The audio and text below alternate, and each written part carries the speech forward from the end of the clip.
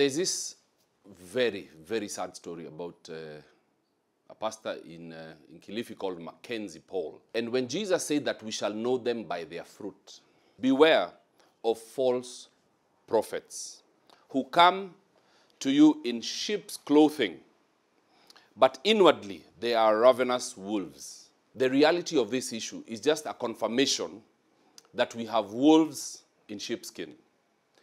And they come in all shapes and sizes. And they come in all names. And just the way we have spies who go into a foreign country and they steal secrets, we also have spies from the kingdom of the enemy. We have agents of the devil who literally come into the church masquerading as ministers of the gospel. And Mackenzie is one of them.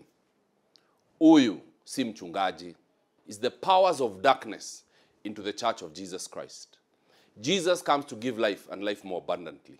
But this pastor, huyu si pastor, hizi ni shenanigans kimeumana.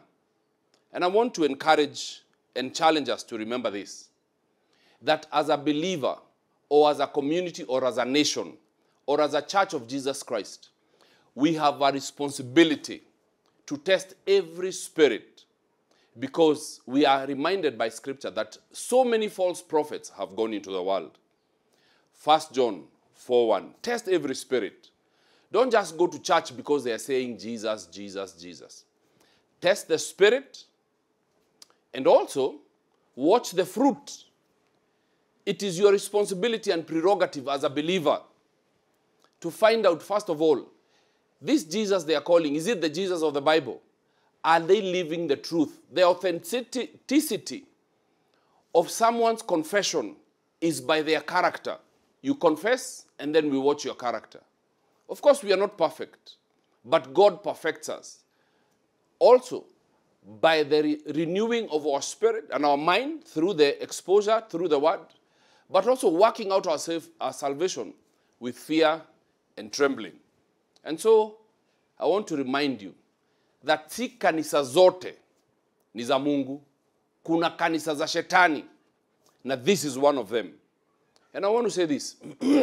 one of the ways to know churches that are not of God, number one, they purport to be the only ones who have the truth. Ao tu ndio God huongea nao. What they say is the absolute truth. It cannot be tested, it cannot be judged, it cannot be refuted. And I want to say this. That's a slippery road. Na wako wengi. Wako wengi. Na if you don't go to their church, they, they are the custodian of truth. It is only them who have access to God. Hakuna mtu mwingine God anaweza through ni hao peke yake. And so watch out because this is not the only one. And there are many even in our, you know, in, a, in, the, in the different towns, people who they keep saying they want to go and start a new church somewhere. They want to get out of the denomination because they have a different vision. What other vision than knowing Christ and making him known? Because that's the essence. So ni vision gani ingine?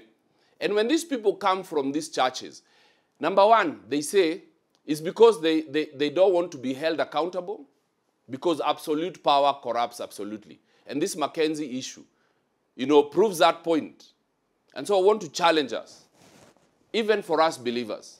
Before you walk into a church, when was the last time you asked yourself, what is the statement of faith of this church? What does this church believe in? Ushawaijiuliza, huyu pastor ndio akuje kufungua hii kanisa, nani umuhold accountable? If he fell into sin, na siku hizi mapasta wanakula kondoo kaa njugu, who can hold them accountable? Ah, mapasta wanahubiri hii gospel ya seed eh, na breaking hizi makases. Who holds them accountable?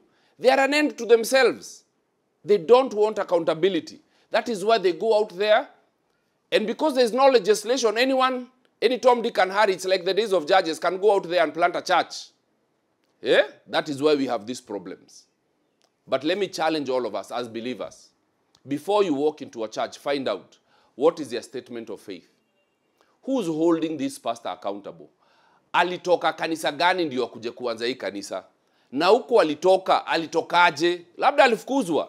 Because they found out that he is practicing witchcraft. let me tell you something. The devil shetani huwa tu huku katikati ya watu.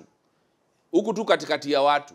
Kumbuka in the days of job shetani alienda mpaka heaven. Asa, na wewe umetoka wapi? Asema nilikuwa tu ndirau nilikuwa tu area. I was just around and so the devil can go anywhere even in church so test every spirit and every pastor should be held accountable and be a berean just because they are quoting scripture doesn't mean it's right Shakespeare said, any fool in error can find a verse in scripture to support their folly. We have a responsibility as a body of Christ. Number one, to test every spirit, to confirm if what they are saying is in the Bible. And if someone does not want to be held accountable, jua huyo ni fisi in sheepskin. May the Lord have mercy on us. Wake up and smell the coffee. Wake up and remember you have a responsibility to your faith. The government can never protect you all the time. Never. The government cannot legislate religion. That I can tell you without fear of contradiction. Kanisa zinaweza fungua zote leo na zianze kufunguliwa one by one, na nakwambia hivi, bado shetani ataingia ndani. But when we stand in prayer and cast out this spirit, it shall be defeated because the gates of hell shall not prevail against the church. May the Lord have mercy on us, but the responsibility is on us. Be a Berean in Jesus' name. Amen.